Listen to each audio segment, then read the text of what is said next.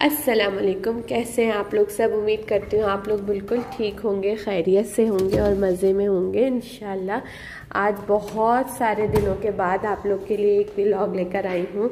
क्योंकि बहुत सारी मसरूफियत के बाद अब टाइम मिला था। मैसी घर हो रहा है बहुत, क्योंकि रिसेंटली शिफ्टिंग हुई है। तो मैंने सोचा क्यों ना अब दोबारा से व्लॉगिंग की तरफ़ आया जाए। तो यहाँ पे अभी स्टोव टॉप नहीं आया है ओवन नहीं आया है तो इसलिए मैंने ये इलेक्ट्रिक चूल्हे पे दाल हमारी तकरीबन बन चुकी है। और अब मैं रखूँगी गोश्त को मैरिनेट करने, दाल को अब गार्निश करना है, और इसके साथ बनेंगे राइस दाल की रेसिपी तो सबको मालूम होगी, और ये इलेक्ट्रिक चूल्हे पे बनाना होता है तो इंस्टेंट जो चीज़ बन जाए, वो बना लेते हैं।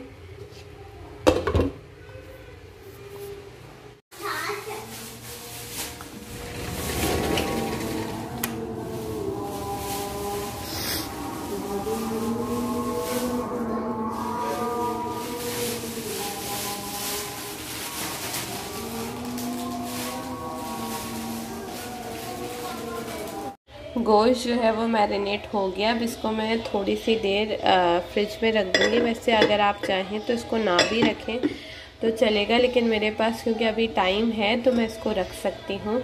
और ये बर्तनों का ढेर लगा हुआ है, मैं इसको जल्दी से क्लीन करती हूँ और इसके साथ आज की बातें चलती रहेंगी। जैसा कि जब घर शिफ्ट होता है तो और आपने स्पेशली पहली दफ़ा शिफ्टिंग की हो तो आपको आइडिया नहीं होता कि आपको चीज़ें किस तरीके से सेट करनी है। आहिस्ता आहिस्ता आता है, तभी मेरा पूरा घर बहुत मैसी हुआ है।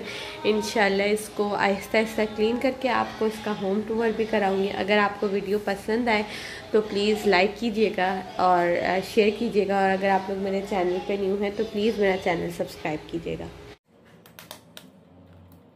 तो मैं अब अपना नाश्ता जल्दी जल्दी बना दी थी। बहुत टाइम हो गया, चाय नहीं पी क्योंकि इलेक्ट्रिक चूल्हे पे जो चाय बनती है ना, वो मुझे पसंद नहीं आती। पता नहीं, ऐसा टेस्ट नहीं आता। और उसके बाद क्या हुआ कि मुझे गोश्त को बॉईल करना था। ज़ाहिर सी बात इलेक्ट्रिक चूल्हे पे नहीं कर सकती थी। इसके लिए मैं इंस्टेंट पॉट लाई थी, लेकिन वो डिफेक्टेड निकला। तो मैंने सिर्फ़ और सिर्फ़ दाल बना ली थी और उसके बाद का मैं व्लॉग बिल्कुल जहन से मेरे निकल गया और रिकॉर्ड करना ही रह गया। तो डायरेक्ट अब मैं आपको रात की तरफ़ ले जाऊँगी। तो गोश्त का हमने स्किप किया। इंस्टेंट पॉट को मैंने जाके रिप्लेस करवाया था। उन सेवन डेज़ की वारंटी थी तो उन्होंने रिप्लेस कर दिया था। उसका रिव्यू भी इन बहुत ही जल्द चैनल पे आ जाएगा। तो आइए देखते हैं इसके बाद हम कहाँ गए मतलब इसके बाद नहीं, रात। ये पूरी फर्नीचर मार्केट है तो हमने सोचा है कि ना फर्नीचर लेना है तो फर्नीचर फ़ौरन तो नहीं ले लेते मतलब सर्च तो करते ही हैं तो आज हम देख रहे हैं कि हमें कहाँ से पसंद आता है। तो आपको भी डिज़ाइन दिखाती हूँ, जो लोग न्यूली शिफ्ट हो रहे हैं, उनको आइडिया मिलेगा।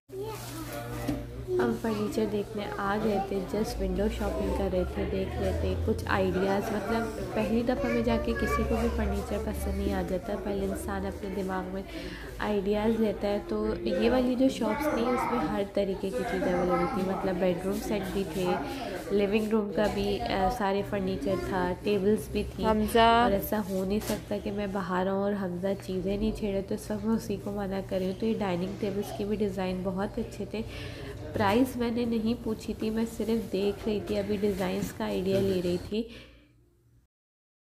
यहाँ पे एल शेप सोफ़ाज़ भी थे और बहुत अच्छे थे।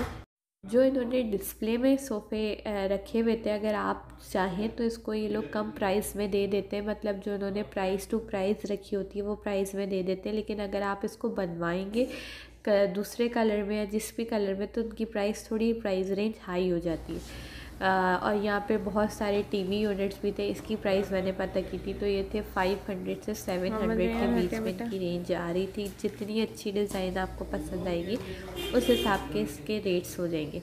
इन मैं नेक्स्ट वीडियो में आपके साथ मिलूँगी। आज मैंने बहुत छोटा सा व्लॉग बनाया। आई होप आपको पसंद आया होगा। प्लीज़ लाइक कीजिएगा मेरे चैनल को सब्सक्राइब कीजिएगा। अल्लाह